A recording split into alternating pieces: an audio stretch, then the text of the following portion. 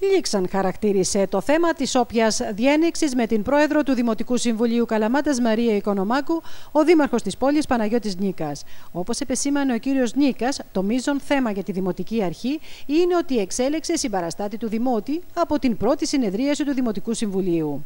Δεν υπήρξε αντιπαράθεση με την έννοια την οποία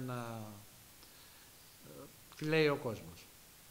Υπήρξε ένα γεγονός λυπηρό, ασφαλώς, για μένα πρωτοφανές, με στενοχώρησε πάρα πολύ, όμως η Δημοτική Αρχή, και αυτό είναι το μείζον από τη συγκεκριμένη διαδικασία, επέτυχε αυτό το οποίο ήθελε.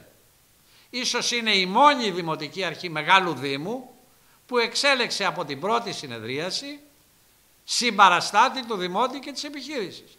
Ποιο είναι το μείζον; Αυτό είναι το μείζον. Να κάνεις τη δουλειά σου. Να έχεις αποτέλεσμα. Να έχεις απόφαση.